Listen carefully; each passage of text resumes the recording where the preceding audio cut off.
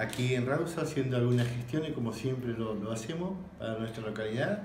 Eh, por ahí también es venir un poco a agradecerle al gobierno de la provincia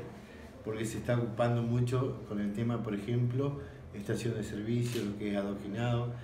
otras obras, por ejemplo, como viviendas, eh, también eh, estamos avanzando mucho en eso trabajando un poco también con el tema de la fiesta que, que, se nos viene el 14 y 15 de marzo, que es la fiesta del caballo cuadrero, donde bueno, hay muchísima gente trabajando en esto, está quedando todo muy bonito, todo lo que es eh, el campo de jineteada, trabajando, siempre avanzando eh, y siempre teniendo respuesta del gobierno de la provincia, que eso es muy interesante.